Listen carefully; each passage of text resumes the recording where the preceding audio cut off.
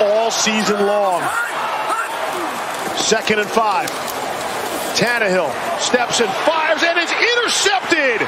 It's Marcus Peters who makes the play for the Ravens. The ball was tipped at the line of scrimmage, fluttered, and it's Peters who makes the big defensive play for the Ravens. No, no Corey Davis, right? right? No Corey Davis. They try to get it to Kalif Raymond, and he falls down on the play. Yeah, I mean, you knew that was coming, though. You could just see it if you, as you were watching it. They were going to try and try him out here, and you're going to see Kalif Raymond come down the field here. But what he does is he falls down, and he's not even looking for the football. You see the switch release. Ryan's trying to get him and he falls down. You, they were trying to set this up. I was watching this unfold right, right in front of us right here, but they don't have one of their biggest, strongest, fastest receivers out there to take advantage. After they, they weren't on the, the same page. Look at Kalif Raymond looking back for the football. Taunting on Baltimore. 15-yard penalty from the end of the play. Baltimore keeps the ball. First down.